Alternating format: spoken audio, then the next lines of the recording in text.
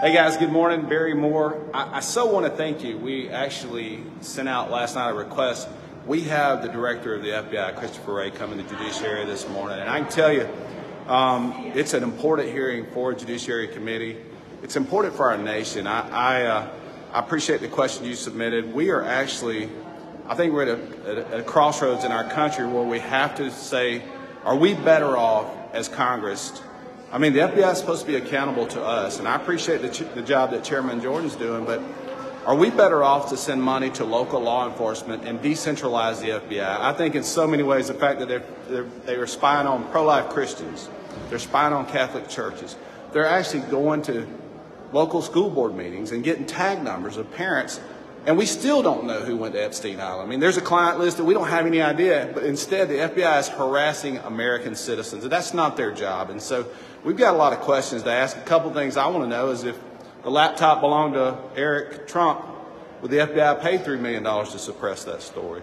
Or if in fact, why would the FBI spend a million dollars to try to get Christopher Steele to verify the dossier? Why is the FBI playing in America's elections? My question is who's better suited to pick the President of the United States? The people who pay my salary and pay Director Wray's salary and, and they fund the FBI, or the FBI themselves? This is about protecting American liberty.